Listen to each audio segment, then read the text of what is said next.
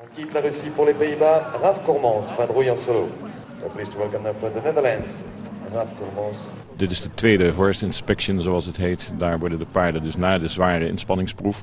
worden ze bekeken of ze fit to compete zijn. De inspectie is vooral bedoeld om uh, de paarden te beschermen... dat de ruiter niet uh, met winst uh, in zijn hoofd probeert... die paarden nog een zwaar springparcours te laten lopen.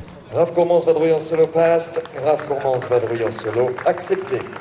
De keuring is voor ons voortreffelijk verlopen. We waren gisteravond eigenlijk al heel, heel goed en vanochtend vroeg hebben we ze nog een keer gecontroleerd. En toen liepen ze er heel fris overheen. Dus we zijn zonder angst de keuring ingegaan. Britannique Nicola Wilson, opposition buzz. Paarden die worden hier bekeken. er loopt een dierarts omheen. de jury staat erbij. Uh, hij kijkt naar verwondingen, kwetsuren uh, en dat soort zaken. Uh, vervolgens moeten ze stappen, worden ze een stap beoordeeld.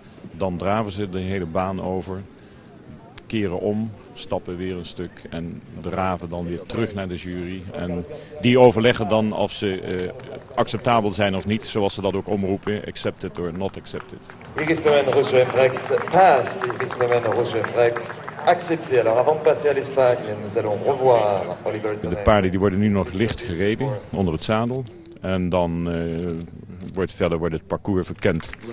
Uh, zonder paard uiteraard. En dan uh, gaan ze vanmiddag gaan ze het springparcours in.